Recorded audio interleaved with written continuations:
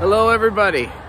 Now, I am aware that in the last video, I was very excited about the house we traded for city lot and the roughly 3,200 square feet of that city lot to be growing food on. That was a bit of a lateral pass and remains a lateral pass from, you know, shifting the First Church of Music thing during COVID and such from live music entertainment to our kind of lesser mission of growing food uh, for self-reliance. We've now made that the major mission and put the live music entertainment thing on a lesser pedestal for the time being, right?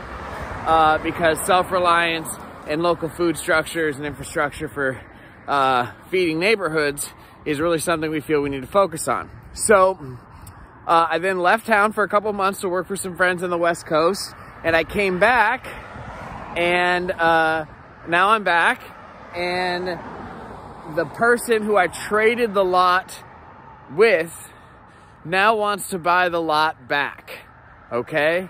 Um, and there's a lot of advantages to that. Uh, for one, um, we could pay off the investor entirely for First Church of Music and still have a little bit of pocket change left over to continue to move forward. Um, the truth is, when it comes to access to property, uh, those of you around here know, those of you from not around here may not know, there's tons of acreage, unused acreage all over the place. So, you know, with a good plan, access to land, even if you don't own it, leasing it, borrowing it, trading produce for the use of it, is, is more accessible here in Port Huron, Michigan than maybe more populated areas. So uh, we don't need to necessarily own the land. That having been said, I want to own this land I'm standing on right now. My goal by the end of 2021, whether we sell the other piece, whatever, is to own this lot. It's twice the size of the fenced-in city lot and uh, actually a little bit more than twice the size. And it's right here on the 1400 block of Lapeer with tons of uh, frontage, right? And um, it's almost full sun. There's one tree in the front and one in the back, which could be nice for a number of reasons. And I just see like for somebody wanting to buy this and build on a house on it right now, um, they, you know, that's a big investment from the beginning. For somebody wanting to grow food on a city lot, this right now is listed for $6,000. $6,000. And I feel like with selling the old lot, even paying back the investor, which we're now talking about moving forward in a more partnership role after they're paid back, because um, uh, he's been super amazing and supportive and totally um, in line with what First Church of Music is about.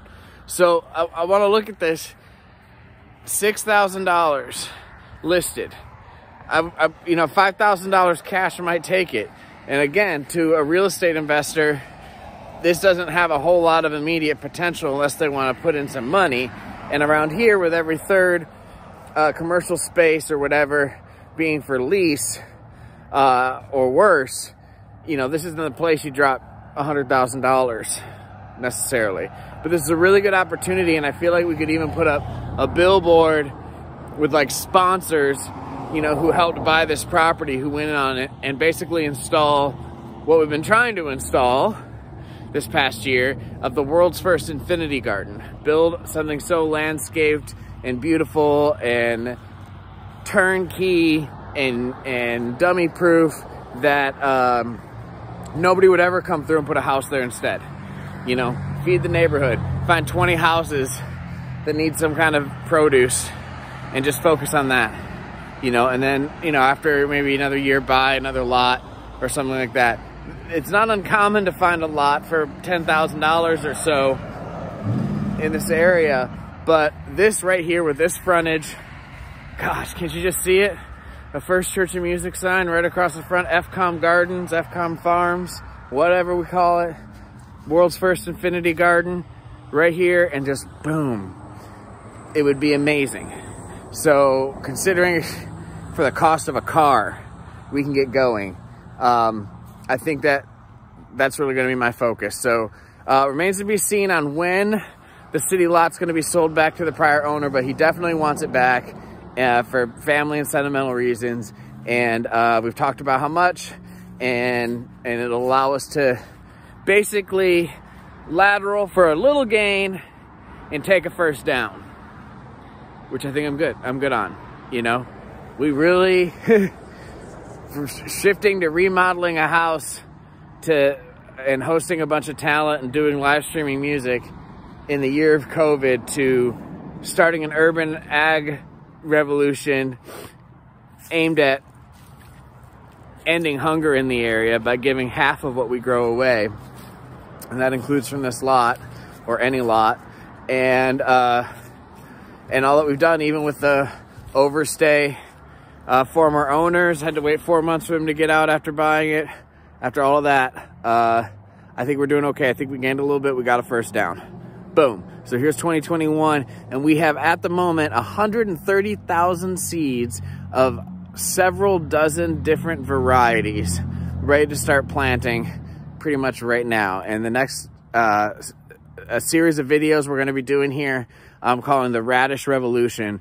And please keep that in mind, Radish Revolution. Subscribe and like this channel because that's something we all can participate in. It's meant to be a group project uh, to everybody connected to this channel and First Church Music around the country and the world, which, though y'all may not know this, I do know this, are thousands of people, ultimately. So let's bring up that uh, those subscribers so we can get some income in to First Church Music through this YouTube. Boom, like and subscribe. Like I said, thank you so much for watching the whole of this video. We'll see you soon.